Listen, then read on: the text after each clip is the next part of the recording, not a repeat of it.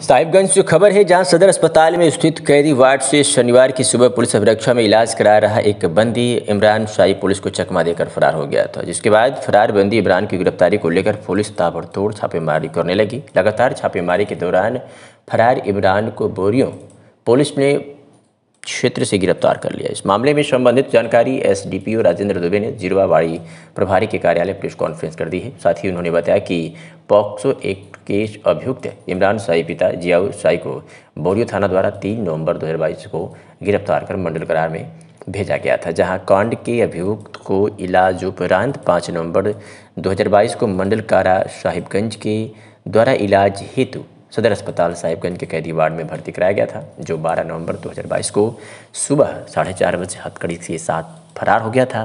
फरार होने के उपरांत केस दर्ज किया गया, जिसके बाद इमरा, फरार इमरान की गिरफ्तारी हेतु तो छापामारी की जा रही थी। पुलिस अधीक्षक को गुप्त सूचना मिली कि फरार अभियुक्त इमरान साई ईदगाह टोला बोरियो में छुपा हुआ है। गुप्त सूचना के आधार पर दिनांक तेरह तारीख, यानी तेरह नवंबर को बोरियो थाना के द्वारा अभियुक्त इमरान शाही को गिरफ़्तार किया गया। बोरियो थाना से एक अभियुक्त जो 200 कांड संख्या दो सौ सतहत्तर बाईस दिनांक दो ग्यारह दो हज़ार बाईस को धारा तीन सौ चौवन और आठ पोक्सो एक्ट के अंतर्गत बोरियो के ही रहने वाले इमरान शाही के विरुद्ध कांड दर्ज करके उनको गिरफ़्तार करके तीन ग्यारह को जेल भेजा गया था। उनको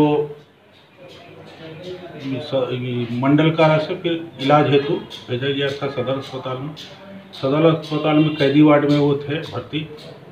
और कल साढ़े चार बजे भोर में मैंने बीते कल, अर्थात बारह ग्यारह दो हज़ार बाईस के साढ़े चार बजे भोर सुबह में वो हथकड़ी सहित भाग गए थे वहाँ से। उन्हें